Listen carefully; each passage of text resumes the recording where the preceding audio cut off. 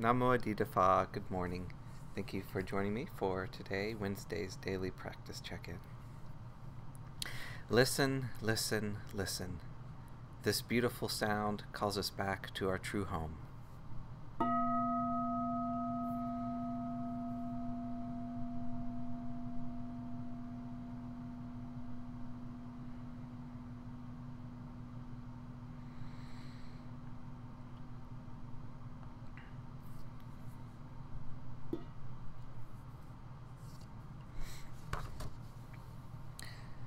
The third wonderful precept Aware of the suffering caused by sexual misconduct, I vow to cultivate responsibility and learn ways to protect the safety and integrity of individuals, couples, families, and society. I am determined not to engage in sexual relations without love and a long term commitment.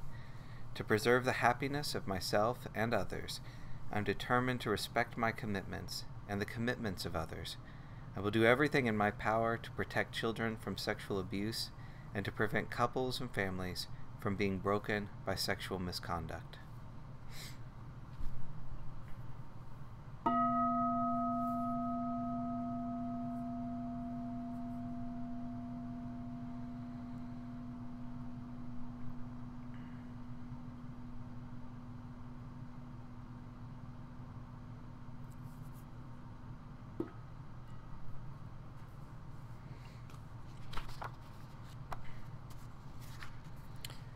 Today we're finishing the section on kamma, the relational field, from Ajahn Sucitto's Kamma and the End of Kamma.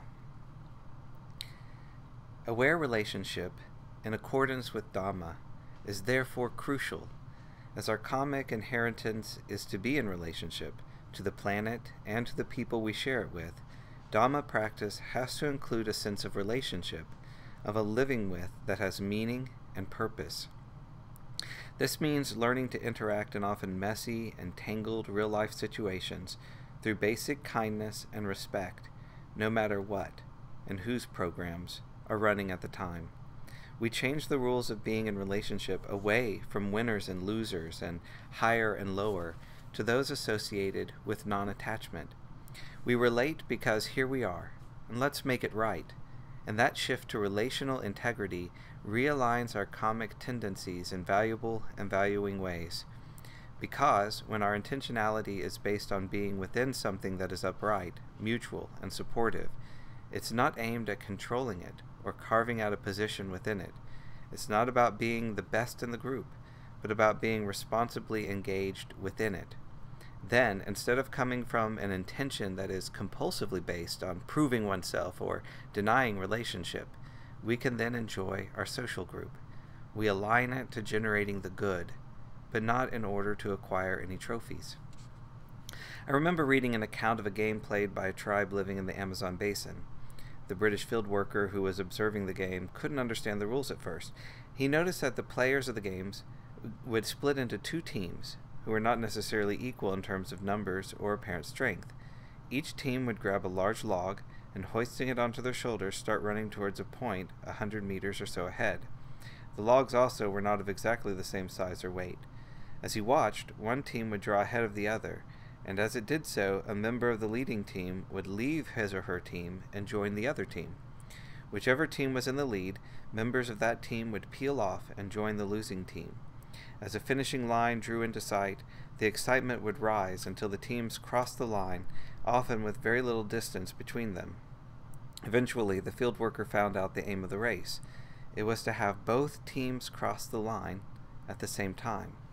That aim was carried out through attention and strenuous effort, but with an overriding benevolent intent to arrive at a place with no winners and no losers. It's not a bad analogy for the qualities that support spiritual friendship. Spiritual friendship is a stepping stone, one that reminds us of these values and models and models them to a degree. But spiritual friendship is not about ultimately bonding to an individual or a group. It's about cultivating a relatedness which steadily brings values of morality, compassion, and inquiry to mind. Then it leads on to the firmest foundation for relationship, that of relating one's actions to a field of value.